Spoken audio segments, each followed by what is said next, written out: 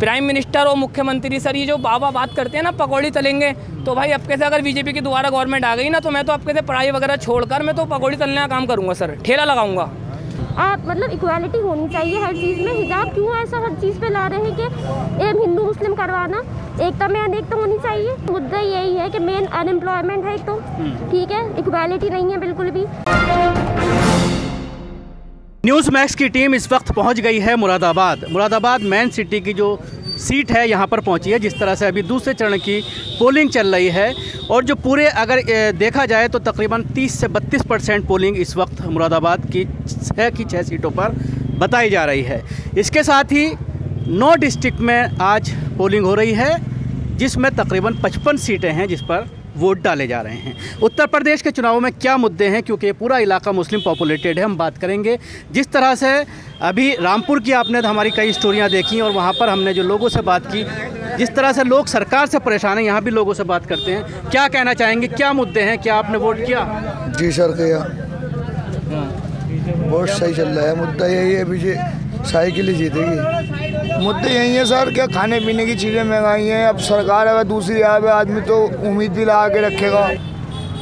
Vote किया है क्या मुद्दे हैं किन मुद्दों पर आ जाते हैं देखिए मुद्दे महँगाई का मुद्दा है और बेरोज़गारी का मुद्दा है और इतिहाद और मोहब्बत प्रेम का मुद्दा है कि मुल्क जो चलता है वो इतिहाद से मोहब्बत से चलता है कारोबार से चलता है। यहाँ जो है मुरादाबाद पीतल नगरी है, यहाँ पीतल का कारोबार ज़्यादातर होता है। और जो मुल्क को जो ज़र मुबादला ज़्यादा से ज़्यादा कमा कर देता है मुरादाबाद, उसके मुताबिक यहाँ पर जो है, तवज्जो हुकूमत की नहीं है। ड्राबैक है, वो तकरीबन 80 परसेंट कम कर दिया गया। फोकस जो है, वो ख़त्म कर दिया गया।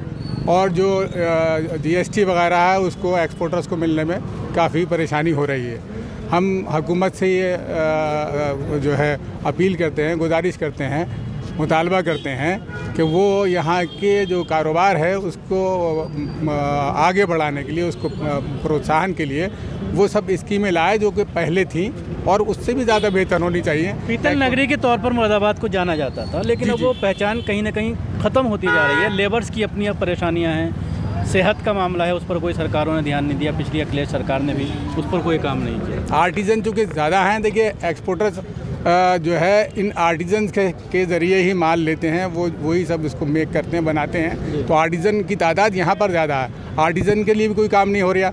लेकिन अगर एक्सपोर्टर्स को जो मुराद पहले मिलती थी जो फैसिलिटीज़ मिलती थी वो मिलें और उससे भी ज़्यादा मिलें तो कारोबार बढ़ेगा। आर्टिजन आज के इस वक्त में, समझ लीजिए कि रक्षा तक चलाने पर मजबूर हैं। तो हमारी हुकूमत से ये मुतालबा है कि कारोबार की तरफ़ तवज्जो दी जाए, इससे मुल्क को ख़ुद को फ़ायदा होगा। एक स्टूडेंट हूँ, सर। मैं एम एस प्रीवियस कर रहा हूँ, सर। मेरा जो मुद्दा है, मैं जो वोट देकर आया हूँ, मैं परिवर्तन चाहता हूँ। क्योंकि, सर, पाँच साल के अंदर जो बेरोज़गारी बढ़ी है स्टूडेंट तबके के अंदर तो सर, मैं तो बेरोज़गारी के मुद्दे पर मैं वोट देकर आया हूँ इस वक्त। ठीक है? क्योंकि सर मैं एक स्टूडेंट हूँ पाँच साल के अंदर जो 2017 के अंदर जो बीजेपी सरकार ने हम लोगों से स्टूडेंट से वादे करे थे कि हर साल जो है अस्सी लाख युवाओं को रोज़गार देंगे हर ज़िले के अंदर एक यूनिवर्सिटी बनाएँगे हर ज़िले के अंदर एक मेडिकल कॉलेज बनाएँगे हर बच्चे को लैपटॉप देंगे। सर किसी को कुछ नहीं मिला। तो सर मैं बेरोज़गारी के मुद्दे पे क्योंकि मैं स्टूडेंट हूँ सर और एक लोअर क्लास बड़े बड़े ऐड निकाल कर बताया जा रहा है। आप उसकी आप उसकी रिलीज़ करा लिए मेरे पास मैं आपको डाटा दे सकता हूँ अभी इस वक्त कितने लोगों को रोज़गार मिला पाँच साल के अंदर। आपने अस्सी लाख रोज अस्सी लाख रोज़गार एक साल के अंदर देने के वादे करे थे। आपने अस्सी साल पाँच अस्सी लाख रोज़गारों को पाँच साल में नहीं दिया रोज़गार ठीक है? दूसरी चीज़ जी जी। दूसरी चीज़ सर मैं आपको ये बात बताना चाहता हूँ क्योंकि सर मेरे वालिद साहब जो हैं मेरे जो पेरेंट्स हैं दस हज़ार बारह हज़ार पंद्रह हज़ार कमाने वाले हैं ठीक है? मैं 2017 में मैंने इंटर करा। चार साल से मैं अपने वालिद साहब पे डिपेंड हूँ। वो मजदूरी करके पैसा कमा कर मुझे पढ़ाना है ठीक है? मुझे इसलिए पढ़ाना है कि मैं एजुकेटेड होकर के जॉब हासिल करूँ। अब होता क्या है सर? गवर्नमेंट ने क्या अगर हमें बेरोज़गार कर दिया सर। कोई जॉब सी नहीं है। तो मैं एक मैसेज ही देना चाहता हूँ जिस तरीके से हमारे प्राइम मिनिस्टर और मुख्यमंत्री जी जी। प्राइम मिनिस्टर और मुख्यमंत्री सर ये जो बाबा बात करते हैं ना पकौड़ी तलेंगे तो भाई अब कैसे अगर बीजेपी की दोबारा गवर्नमेंट आ गई ना तो मैं तो अब कैसे पढ़ाई वगैरह छोड़कर मैं तो पकौड़ी तलने का काम करूँगा सर। ठेला लगाऊँगा। क्योंकि ये देश आगे नहीं बढ़ सकता जब तक अगर हम इस विचारधारा को लेकर चलेंगे तो। जी, सिर्फ़ धर्म के नाम पर राजनीति हो रही है, एजुकेशन पे कोई बात नहीं करेगा, बेरोजगारी पे कोई बात नहीं करेगा, डेवलपमेंट पे कोई बात नहीं करेगा, सिर्फ़ हिंदू, मुस्लिम, तालिबान पे ये लोग बात करेंगे, ठीक है? तो सर, मैं एक मैसेज अपनी तरफ़ से देना चाहता हूँ, क्योंकि पाँच साल के अंदर कोई युवाओं को रोज़गार नहीं मिला लाठी चार्ज कर दी गई। दूसरी चीज़ सर 2018 के अंदर एसआई सब इंस्पेक्टर की यूपी गवर्नमेंट ने वैकेंसीज निकाली पचानवे हज़ार। जिसमें सर क्योंकि मेरा ग्रेजुएशन कंप्लीट हो गया था मैं दो साल से बिफोर प्रिपरेशन कर रहा हूँ अपनी। अपने माँ बाप पर डिपेंड हूँ दस बारह हज़ार रुपये कमाने वाले मेरे वालिद साहब हैं ठीक है? अब मैं दो साल से अपनी तैयारी कर रहा हूँ। पचानवे हज़ार यूपी गवर्नमेंट ने जॉब निकाली थी एसआई की। अब सर मैंने तैयारी करी उसका एग्ज़ाम हुआ मैं एग्ज़ाम देकर आया 92 मार्क्स मेरे आए रिज़ल्ट के अंदर। और सर जनवरी के अंदर उसकी वैकेंसीज होकर के उनको अ, मतलब उनको उनकी पोस्ट ग्रहण कर देना चाहिए थी। लेकिन सर वो पेपर पोस्टपोन कर दिए गए। करप्शन कर दिया गया, कोई रोज़गार ही नहीं है पाँच साल के अंदर। तो सर, मैं इसी बुनियाद पर वोट देकर आया हूँ आपको। वोट में देखिए, हमने वोट जो कराया करायागा वो परिवर्तन के ऊपर करायागा क्योंकि जो झूठी फरेबी सरकार थी, उनके खिलाफ कराया करायागा जो झूठे वादे करे थे। सबसे पहले जब मुख्यमंत्री बने थे, उन्होंने कहा था कि हम उत्तर प्रदेश को गड्ढा गड्ढा मुक्त कर देंगे। उन्होंने गड्ढा मुक्त को नहीं करा, गड्ढा युक्त कर दियागा आप ऊपर देखेंगे बोर्ड लगा हुआ आएगा कि यूपी गड्ढा मुक्त नीचे ही गड्ढे गड्ढे। और सिर्फ़ वो भेदभाव वाली राजनीति करते हैं हिंदू मुस्लिम की राजनीति करते होंगे वो अभी कार्ड नहीं चलेगा। जो गंगा जमुना तहजीब यहाँ पे बनी हुई है सदियों से सदी बनी पड़ी है वो ख़त्म नहीं होगी। हम सब लोग एक होके हिंदू मुस्लिम सब भाई एक होके परिवर्तन चाहते हैं सभी ने परिवर्तन के ऊपर वोट कराया जी सही है ये जो कह मैंने वोट डाला है और मैंने उस पर वोट डाला है जिस पे हिंदू मुस्लिम की राजनीति नहीं हो। और सबकी, सबको एक साथ लेकर चले, सबका साथ, सबका विकास होना चाहिए, चाहे कोई सी पार्टी हो, मैंने उसको वोट दिया। हिंदू, मुस्लिम की राजनीति चाहिए, जो हमारे मुख्यमंत्री कह रहे हैं अस्सी बीस का लक्ष्य नहीं है, ये ये वाली राजनीति हमें नहीं चाहिए। हमें चाहिए हमारे हिंदू भाई भी साथ में रहे, मुसलमान भाई साथ में, सब साथ में रहे हमारे। और हमने विकास के नाम पर वोट डाला, जैसे यहाँ पर गड्ढे हैं पूरे शहर को शहर को गाँव कर दिया और गाँव को शहर कर दिया।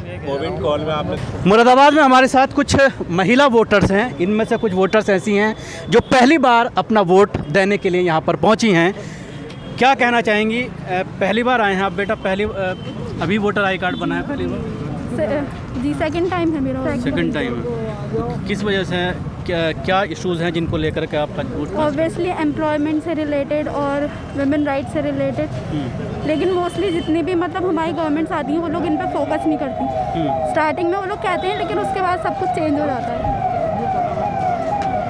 बाद में मतलब वो लोग चेंज मतलब आपने भी वोट दिया? है नहीं मैं फ़र्स्ट टाइम ले रही हूँ। First time voter ji. आप निकल कर आई हैं किन मुद्दों को लेकर आपको ये लगा कि वोट देना चाहिए? देखिए मुद्दा यही है कि मेन अनएम्प्लॉयमेंट है एक तो ठीक है? इक्वालिटी नहीं है बिल्कुल भी। पहले भाई हम लोग स्कूल में पढ़ते थे हम अलग अलग कम्युनिटी के डिफरेंट कम्युनिटीज़ के बच्चों के साथ हम लोगों ने पढ़ा है लेकिन बिल्कुल भी हेटरेट नहीं था। और अब ऐसा हो गया हिजाब पे इस पे उस पे मतलब कोई बात ही नहीं है। आप मतलब इक्वालिटी होनी चाहिए हर चीज़ में। हिजाब क्यों ऐसा हर चीज़ पे ला रहे हैं कि एम हिंदू मुस्लिम करवाना?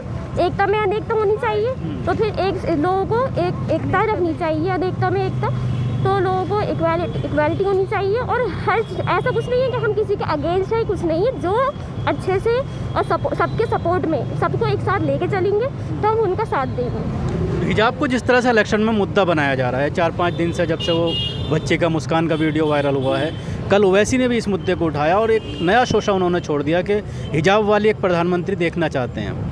हिजाब वाले? प्रधानमंत्री देखना चाहते हैं। प्रधानमंत्री देखना चाहते हैं वो अच्छा। नहीं तो उस पर कुछ वो नहीं देखिए हिजाब को किसी भी किसी अननेसेसरी पॉइंट है। Unnecessary कोई नहीं कह ये रहा तो है। सब नॉर्मल ये सब नॉर्मल है हम लोग हम लोग पहले से पहनते आए हैं और इन चीज़ों पे अब आके मुद्दा स्कूल में कभी कोई परेशानी नहीं कभी नहीं कभी नहीं। और इवन हम लोग मतलब नॉन मुस्लिम भी फ्रेंड्स हैं हमारे हम लोगों ने कभी इस बात पर डिस्कस ही नहीं करा। कास्ट कास्ट कम्युनिटी हम लोगों ने कभी डिस्कस नहीं करा। हम लोग आज तक भी हम लोगों का इक्वालिटी वैसी है कोई अंदर लेकिन अब हेट रेट जो आ रहा है। अब सब लोग खींचे अब थोड़े खींचने लगे हैं कहीं ना कहीं। वो फ्रेंडशिप वो वैसे कहीं ना कुछ लोगों में है कि हाँ समझते हैं नहीं यार जो हम से एक से थे हम वैसे ही रहेंगे। लेकिन कुछ लोग कुछ ऐसे फ्रेंड्स हैं जो हटते चले जा रहे हैं। तो ये एक क्या तरीका है? ये सब नहीं होना चाहिए। हम लोग इंडिया में रह रहे हैं हमारे जो नफरत जो फैलाई जा रही है वो अपना काम कर रही है। और कहीं ना कहीं जो गैर मुस्लिम दोस्त थे उनमें से सब तो नहीं लेकिन थोड़े बहुत जो है वो हटते चले जा रहे हैं। जी। क्या कहना चाहेंगे? हिजाब एक बड़ा मुद्दा इस इलेक्शन में बनाने की कोशिश बीजेपी के ज़रिए की जा रही है। जी तो ये सब गलत ही है ऐसा होना नहीं चाहिए और अब तो मतलब ऐसे ऐसे मुद्दे उठने लगे जो कभी नहीं उठे। और मतलब ये है कि मेरा भी यही मानना है अनएम्प्लॉयमेंट बहुत ज़्यादा है महँगाई और बहुत सारी इश्यूज़ हैं अब क्या क्या कहा जाए। मुस्लिम महिलाओं को लेकर बीजेपी बार बार कहती है कि तलाक बिल लाए या जनरल महिलाओं की बात करें तो सिलेंडर की बात की जाती है कि चूल्हे पे लोग लकड़ी पर खाना बनाती थी अब हमने सिलेंडर दे दिया। तो ये इशूज़ कितना काम करते हैं? जी। सिलेंडर सिर्फ़ चंद ही लोगों को पहुँच रहे हैं। आप देखिए ऐसे ऐसे गाँव हैं उनकी हालत बहुत बुरी कंडीशन में है। ना उनको खाना है ना उनको रोज़गार है ना उनको सिलेंडर है। बस जिनको मिल गए सो बस की वाहवाही है। इसके अलावा कुछ नहीं है। हो और दूसरी बात ये कि भाई हमारा आज़ाद इंडिया है। हमने आज़ादी किस लिए हासिल करी? ये करने के लिए हिंदू मुस्लिम हैं? और क्या कहते हर चीज़ के लिए मतलब ये श्री राम और फलाने ढिमाके अरे भाई सबके खुदा है। सबके अल्लाह है सबके राम है। ये क्या तरीका है कि राम के नाम पर कुछ भी कर लो? को ऐसा नहीं होना चाहिए। कभी किसी का कभी किसी का अगेंस्ट नहीं हुआ। राम है बिल्कुल हम उनको मानते हैं अल्लाह है हम उनको मानते हैं सिख भाई हर धर्म को मान के एक साथ चलिए आपस में हेटरेट इतना मत पैदा करिए। ये फिर हम लोग साथ में चल ही नहीं पा रहे फिर हमारी इंडिया पीछे हो रही है क्यों हो रही है जीडीपी डाउन इतनी? वैसे भाई एम्प्लॉयमेंट की वजह से भी और हर तरीके से भी सब लोग एक साथ चलेंगे तो इंडिया का नाम क्यों है? अब इतनी ज़्यादा यहाँ पे डिफरेंट डिफरेंट कम्युनिटीज़ के लोग रहते हैं इसलिए तो सब लोग इतना वो होते हैं इम्प्रेस होते हैं इंडिया से कि सब लोग कितने अच्छे से रह रहे हैं। अब यहाँ पे वो सब चीज़ें टूटती जा रही हैं। बोले जा रहा है क्या कहना चाहेंगे? हिजाब को एक बड़ा मुद्दा बनाने की कोशिश की जा रही है। जी जी। अब ये तो पता नहीं क्या बात है, ये कौन लोग हैं जो इस तरह से मतलब ये इशू कर रहे हैं? अब जो भी है और हमें तो वही सरकार चाहिए जो ईमानदारी से चले और जो हम सबकी रक्षा करें, हम सब धर्म मानते हैं, ऐसी कोई बात नहीं।